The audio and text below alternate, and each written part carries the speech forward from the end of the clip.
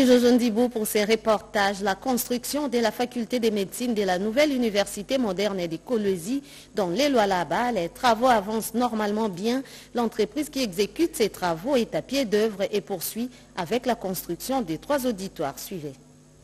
Lancé par la première dame de la République démocratique du Congo, Denise Nyakeru Tshisekedi, lors de son dernier passage au Lolaba, au mois de mars dernier, les travaux de construction de l'Université moderne d'écologie au standard international évoluent de manière considérable. Quatre bâtiments qui abriteront les homes des étudiants sont déjà sortis des terres. Selon les superviseurs de ces chantiers, chaque homme sera composé d'une cinquantaine de chambres et devra accueillir plus ou moins 184 étudiants. L'heure est donc aux travaux de finissage.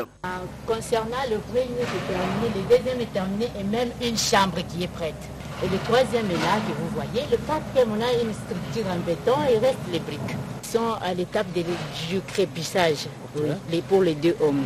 Euh, dans lequel il y aura un 184 étudiants par homme, 4 étudiants par chambre. L'entreprise à pied d'œuvre procède également à la pose de la fondation pour les 5 blocs des auditoires modernes avec une capacité de 200 étudiants par auditoire, une bibliothèque, des laboratoires et bien d'autres compartiments. L'honorable Fifi Masuka ne lésine pas sur les moyens afin de permettre à cette entreprise de terminer ses travaux dans les délais impartis. En initiant ces projets, Fifi Masuka veut doter les étudiants Lolabé des infrastructures viables pour une formation adéquate conformément à la vision du président de la République, Félix Tshisekedi Tilombo, qui veut voir émerger une classe d'élite des jeunes du Congo-Kinshasa. Dans les titres, plus de 400 logements sociaux construits en faveur des cinq sites des déplacés internes et c'est dans les cadres de la réintégration sociale et communautaire dans la province de l'Itourie. La cérémonie des remises de ces logements aux déplacés a été présidée par les vice-gouverneurs des provinces. Un reportage de Junior Selemani de la RTNC Bounia.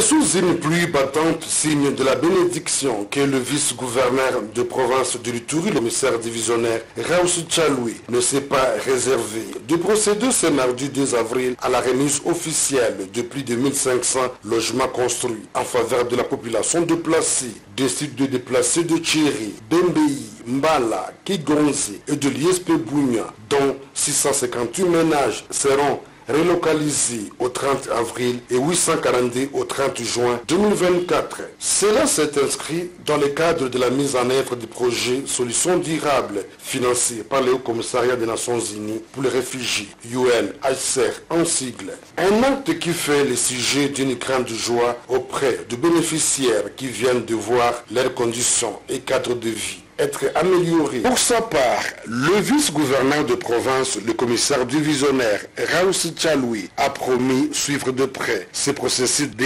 relocalisation de ménages. Je vous annoncer que la cérémonie officielle de remise de ces maisons commence aujourd'hui et se poursuivra jusqu'au 10 avril 2024. Nos équipes ne ménageront aucun effort pour que chaque famille déplacés puissent retrouver, faire la remise des autres maisons jusqu'au 20 avril 2024. Cette mission d'évaluation de la représentante régionale du Haut Commissariat pour les réfugiés dans les provinces du Nord Ubangui et celle du Sud Ubangui. Suivez. Atterri le lundi 25 mars 2024, le numéro 1 du ACR RDC, Mme Angèle Diconque, était accompagnée de Mme Aurélie Chimbombo, assistant du bureau de liaison, et de M. Devis Kamao, chef de la sous-délégation, ont été accueillis par M. Simplice Bandi et M. Neville, respectivement, chef de bureau du ACR et de la CEN. Après son installation, Mme la représentante du ACR RDC est allée présenter ses civilités à M. l'administrateur du territoire qu'il a reçu dans son cabinet de travail. À 15h30, elle a présidé une réunion avec tous les partenaires de différents domaines d'intervention. Elle a également clôturé sa journée par une rencontre qu'elle a eue avec le staff HCR Yakoma. La journée du mardi 26 n'a pas été du tout repos. Elle a consacré aux visites de travail. L'hôpital général l'a reçu en premier, suivi du bureau de la CNR pour terminer chez ses différents partenaires dans l'espace humanitaire et aux deux bâtiments de guest house HCR en cours de construction. Représentante pays du Haut Commissariat des Nations Unies pour les réfugiés, Madame Angèle Dikong, vient d'effectuer une mission de familiarisation avec les zones opérationnelles du HCR dans le Chubangui, plus précisément dans la ville de Zongo et dans les territoires de Libengue. À son arrivée, accompagnée de son assistante, Madame Aurélie Chibombo, elle a été accueillie au but de Zongo par le staff dirigeant du HCR avant d'aller présenter sa civilité au maire de Zongo, Monsieur Arthur Ngouma avec qui elle a eu une séance de travail avant d'avoir une réunion qui a regroupé autour d'elle tous les partenaires du HCR basé dans le Sud-Bangui. Pendant cette mission de familiarisation, la représentante pays du HCR a assisté au rapatriement volontaire du deuxième convoi de 170 réfugiés centrafricains hors camp qui ont fait 10 ans dans la localité de Worobé. Au camp de réfugiés de Wenze, dans la mairie de Zongo, Madame Angèle Dikong a procédé à la de la première pierre de construction d'un bâtiment scolaire et à la coupure du ruban symbolique pour la mise en service du réseau de fourniture d'eau potable. Au Nord Kivu, les déplacés de guerre ont été assistés en vivre et non vivre. L'Université des martyrs du Congo, à travers son centre CEPAS, continue à célébrer le mois dédié à la lutte pour la promotion des droits de la femme. Ce mardi 2 avril 2024 à Goma, la femme congolaise face aux enjeux de la défense de la patrie et la stabilité socio-économique pour le maintien de la paix, c'est le thème au centre de la réflexion à laquelle ont pris part plusieurs autorités. À l'occasion, le Centre pour la promotion professionnelle et action sociale CEPAS UNIM a lancé les activités basées sur quatre axes. La didactique, la santé, juridique et économique pour l'autonomisation durable. La coordonnatrice de ce centre, Madame Magalano Marie-Solange, a invité la population congolaise à penser aux orphelins, veuves et enfants des militaires et policiers souvent oubliés. Nous avons jugé bon qu'on donne un peu de détails sur ces thèmes parce que nos bénéficiaires, ce sont les orphelins de militaires. Nos bénéficiaires, ce sont les dépendants des orphelins de militaires, entre autres leurs épouses. C'est une catégorie de personnes négligées. C'est une catégorie de personnes discriminées. Euh, un martyr qui donne sa vie au compte des autres. Un héros qui donne sa vie au compte des autres et que sa descendance n'est pas prise en charge, c'est pas du tout bon. Nous avons jugé bon euh, de mettre en place quelques activités dans le cadre de l'université. Ici est de signaler que des vivres et non-vivres ont été distribués aux veuves et orphelins de militaires et policiers ainsi que les femmes des blessés de guerre. Une expression d'amour de cette université à cette catégorie. Rappelons que plusieurs activités ont été organisées durant le mois de mars par l'UNIM RDC pour éveiller la conscience de la population congolaise en vue d'immortaliser les âmes de nos martyrs à travers les actions de solidarité et de conscientisation pour une éducation de qualité. C'était là les activités relatives à la célébration du mois dédié à la défense des droits de la femme qui se sont clôturées dans la province du Nord Kivu. C'est 4 avril, la journée de lutte anti-mine, une journée de célébration, de sensibilisation a été organisée à Kinshasa en marge de cette célébration avec comme thème protéger des vies, construire la paix. Gaëtan Magalano. En moyenne, une personne est tuée ou blessée par un engin explosif toutes les heures dans le monde. C'est jeudi 4 avril 2024, l'humanité célèbre la journée internationale pour la sensibilisation aux problèmes de mines et l'assistance à la lutte anti-mine placée sous le thème « Protéger de vie, construire la paix ». En RDC, devant un parterre des invités de marque, Venu prendre part à cette célébration, le coordonnateur national du Centre congolais de lutte anti-mine a dans son exposé magistral martelé qu'il s'agit d'une activité phare pour la lutte anti-mine. Nous venions de mettre en place un plan d'action de, mise en œuvre de 10 ans dont nous avions euh, épluché tous les points, c'est-à-dire euh, comment euh, lutter contre ces engins qui causent trop de tort à la population. Il a par ailleurs énuméré les provinces touchées par ces engins explosifs la province du Kasaï, Kasaï central, et Ituri, nord-sud, Kivu, Chuapa, et Tanganyika. Ce sont ces provinces-là où nous avons vraiment une forte présence de ces engins. Pour le représentant du vice-premier ministre en charge de l'Intérieur, la RDC enregistre plus de 3000 décès. Le ministère est venu justement encourager les partenaires au travers les centres congolais de lutte anti-mine pour qu'ensemble nous puissions enfiler des stratégies qui nous permettent d'aller en direction de la population. Le mine, le reste explosif de guerre et les engins explosifs continuent de faire de morts et de blessés, en particulier dans les situations de conflit armé. Les femmes réunies au sein du cadre permanent des concertations de la femme congolaise CAFCO saluent la nomination d'une femme à la primature par le chef de l'État. Excellence, le cadre permanent de concertation de la femme congolaise, CAFCO en sigle, sa coordination du Congo central avec en son sein plusieurs structures de femmes de la province, vient par la présente remercier son Excellence Félix Antoine Tshisekedi Chilombo, président de la République, chef de l'État, champion de la masculinité positive, pour avoir honoré la femme congolaise et pour avoir fait le choix de vous nommer au poste de Premier ministre. Nous sommes convaincus que sous votre direction, le gouvernement saura répondre aux attentes du peuple congolais et travailler pour un avenir meilleur. C'est pour la première fois que dans l'histoire de notre cher et beau pays qu'une femme occupe la fonction du chef de gouvernement. Ainsi, cette nomination en tant que première femme congolaise ministre marque une avancée significative dans la participation politique des femmes congolaises. Nous croyons que le président de la République ne s'est pas trompé en faisant ce choix judiciaire sur votre personne. Nous prions que l'Éternel notre Dieu vous donne la sagesse et l'intelligence pour mener à bien cette noble mission. Car nous savons une chose, la femme gère avec sa tête, mais aussi avec son cœur. Bravo au chef de l'État, champion de la masculinité positive, que vive la femme congolaise, que vive la province du Congo central, une première dans l'histoire politique de la RDC, une femme à la tête du gouvernement, la nomination au poste de Premier ministre de Judith Souminatou Lucas suscite bien des réactions. Vision Fachi rénovée au cours d'une matinée politique a salué cette nomination. Suivez cela en images et commentaires. Au lendemain de la nomination du nouveau Premier ministre en République démocratique du Congo, le président national des Visions Fachi rénové salue la décision du chef de l'État, Félix-Antoine Tshisekedi Chilombo, de valoriser la femme congolaise pour la toute première fois de l'histoire de ce pays en confiant la primature à Madame Judith Sumino Tuluka.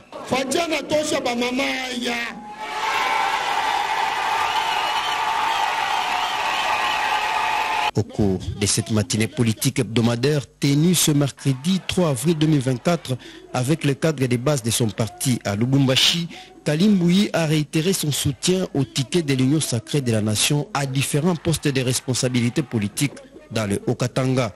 À l'exécutif provincial, seuls Jacques Kaboula et Martin Kazembe Choula comme gouverneur et vice-gouverneur sont des personnes les plus convenables pour diriger la province du Haut-Katanga au regard notamment de leur loyauté à la vision du chef de l'État. Vision Fachi rénovée reste donc déterminée à soutenir Jacques Kaboula pour la réussite de son mandat.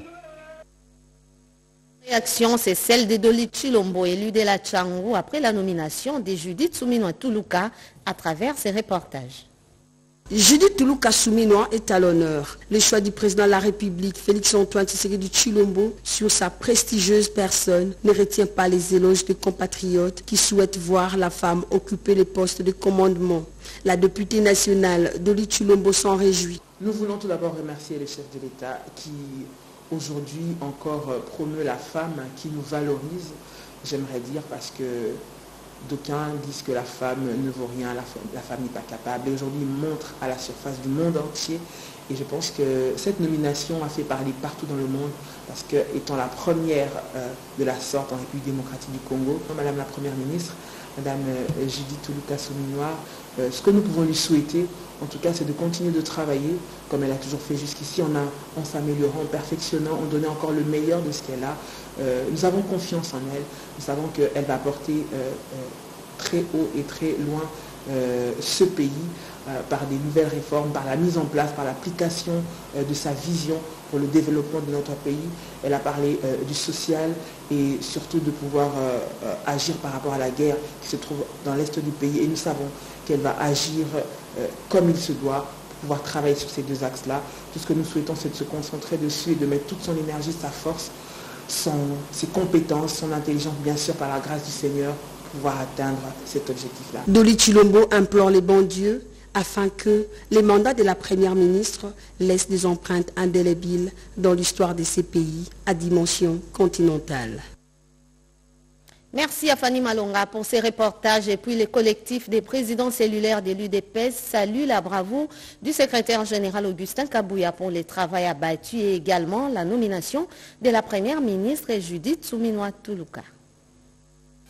Nous, collectif de présidents cellulaires de la ville-province de Kinshasa, de l'UDPS Tshisekedi, remercions son Excellence Monsieur le Président de la République, chef de l'État Félix Antoine Tshisekedi Chilombo, champion de la masculinité positive, d'avoir nommé pour la première fois une femme en qualité de première ministre.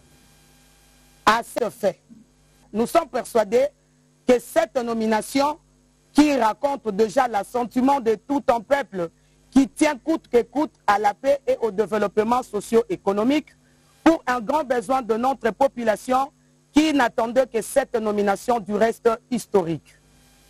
Le collectif de présidents cellulaires salue la bravoure du secrétaire général Augustin Kabouya pour avoir abattu un travail remarquable qui a démontré que l'UDPS est un parti organisé qui doit aboutir son projet de société, lequel apportera d'une part un changement sur la qualité de vie de citoyens congolais et du développement du pays d'autre part.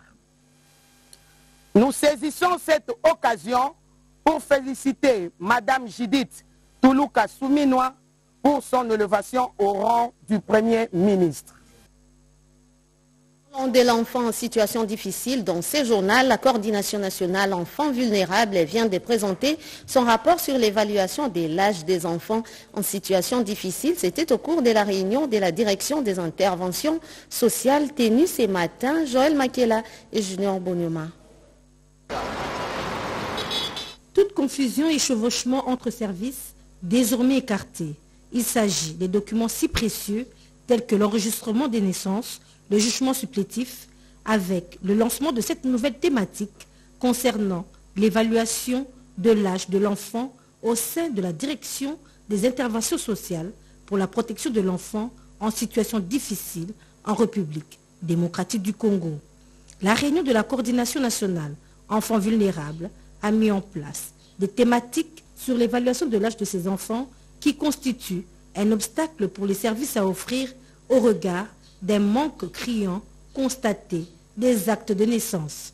La plupart de nos enfants en situation difficile ne disposent pas d'actes de naissance. Pour combler cette lacune-là, nous utilisons l'approche évaluation d'âge pour donner un âge approximatif à cet enfant à travers des approches, des interrogatoires, des examens, des analyses et mettre l'enfant dans l'orbite des bénéfices des services sociaux de qualité.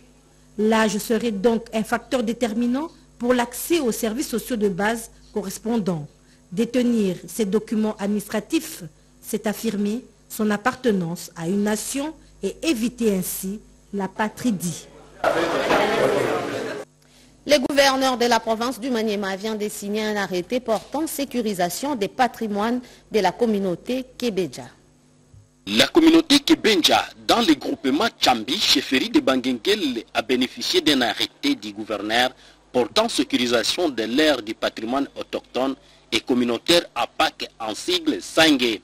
La cérémonie de remise de cet arrêté s'est organisée le dimanche 24 mars 2024 à Olou sous la supervision du conseil principal du gouverneur en charge des questions juridiques, administratives et environnementales, Maître Saleh Abbas la plus grande particularité dans euh, cet acte administratif qu'a pris l'autorité provinciale, c'est le fait que ces pour la première fois que la République démocratique du Congo et la province du Maniema venaient de concrétiser le vœu du législateur congolais en ce qui concerne la sécurisation des sites traditionnels ou des sites sacrés en République démocratique du Congo, selon le code forestier et la loi 015 portant statut de chef coutumier, qui voudrait ou qui veut que les chefs coutumiers soient les vrais défenseurs de rites traditionnels, les vrais défenseurs de la tradition en un mot, le vrai défenseur de, nos, de, de notre culture et nos us et coutumes. Les futurs assistants médicaux de l'Institut supérieur des techniques médicales ISTEM qui s'engagent à l'université de Kinshasa, un protocole d'accord vient d'être signé entre les deux parties, les deux parties nous dit Grâce Maosso. Sous peu, on assistera à un déploiement de médecins spécialistes de l'université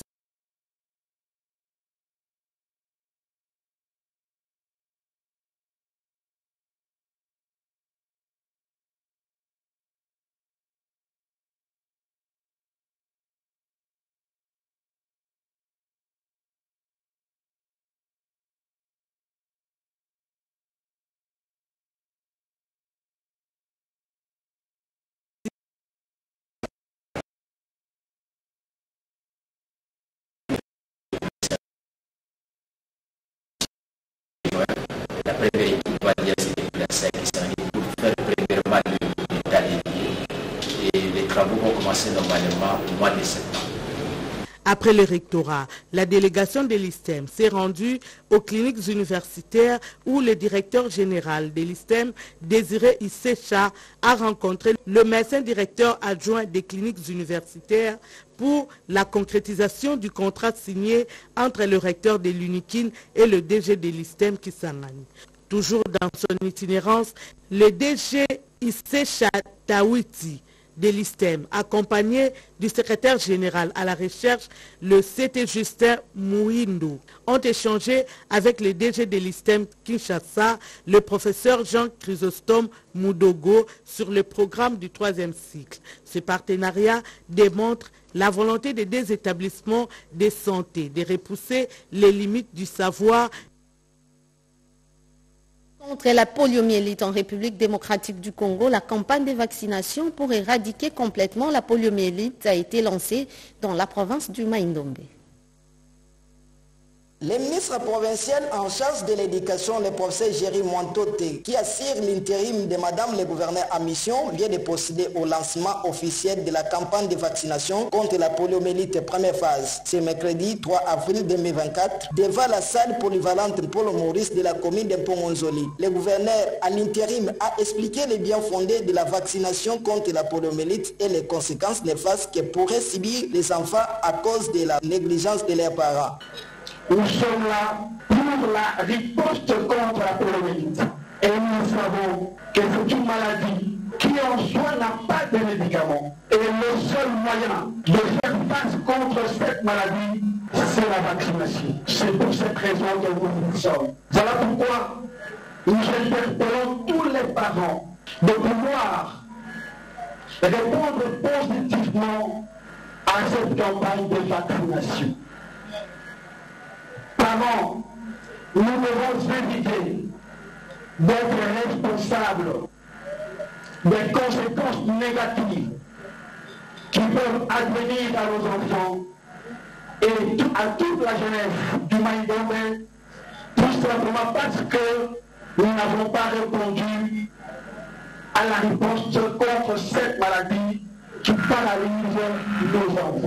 Le chef de division provinciale de la santé Maïndombe, Dr Francis Cambo Yav, n'a pas manqué de préciser la tranche d'âge des enfants de 0 à 5 ans et il a avancé les chiffres approximatifs de 457 000 enfants qui seront vaccinés au cours de la campagne de vaccination dans la province de Maïndombe. Notons que cette campagne de vaccination se passera porte à porte par les agents de la santé du 4 au 6 avril 2024.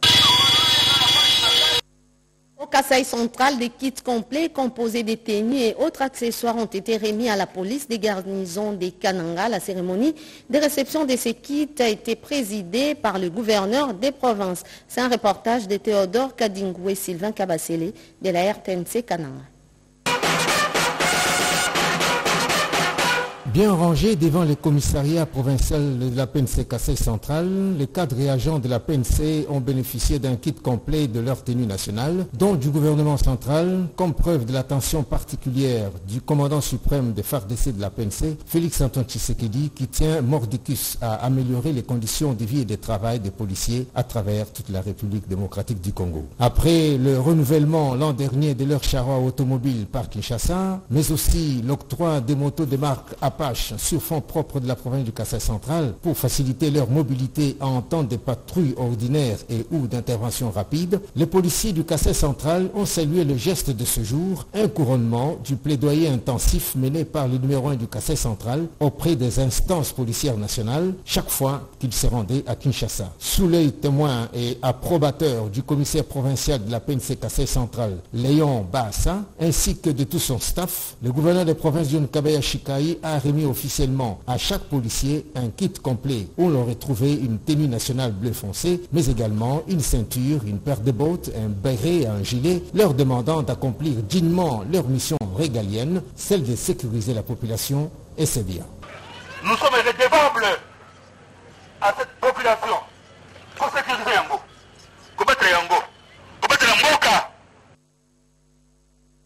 La paix, l'unité, le développement et les élections dans la circonscription électorale de, Yakoma dans la province du Nord-Obangi, ces sujets et tant d'autres étaient au centre d'une conférence débat animée par l'un des fils de Yakoma, Justin Dede Kodoro, à l'intention de la jeunesse estudiantine du Nord-Obangi, Willy Atunakov, pour les commentaires.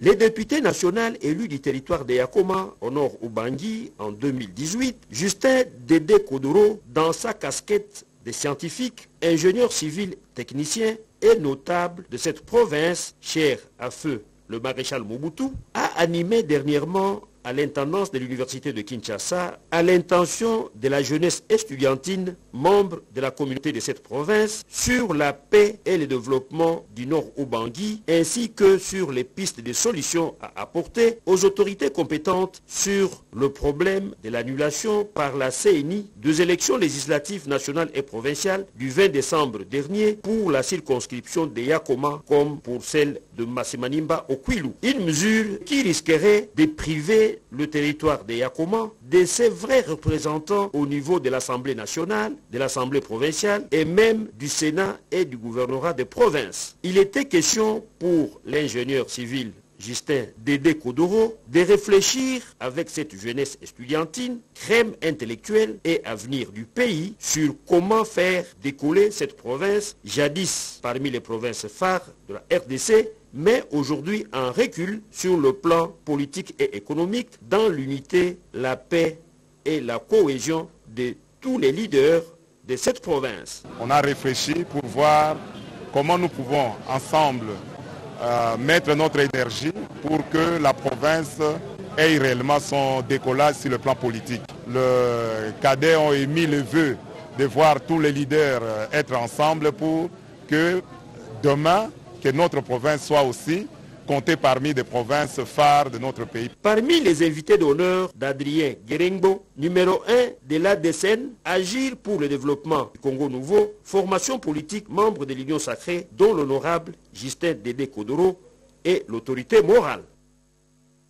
Élu récemment au poste de deuxième secrétaire questeur du bureau provisoire à la Chambre basse du Parlement, le député national Ron Roger Bimoil a effectué une visite aux différents chefs religieux de la plateforme des confessions religieuses. Serge Merlemata et Raphaël Tsadi étaient dans sa Comme ils en ont l'habitude, les chefs des confessions religieuses ont reçu un de leurs fils dans la foi en la personne de Ron Roger Bimoila, élu député national de Lukunga. Ces derniers étaient venus solliciter leur bénédiction il a exprimé également sa reconnaissance personnelle pour leur soutien. Les chefs des confessions religieuses ont profité de cette occasion pour lui donner quelques orientations de l'Église et prodiguer des sages conseils tout en lui souhaitant un fructueux mandat au sein de l'hémicycle du Palais du Peuple les chefs des confessions religieuses l'ont exhorté à toujours être ouvert, flexible et à l'écoute de son peuple qui a placé sa confiance en sa modeste personne.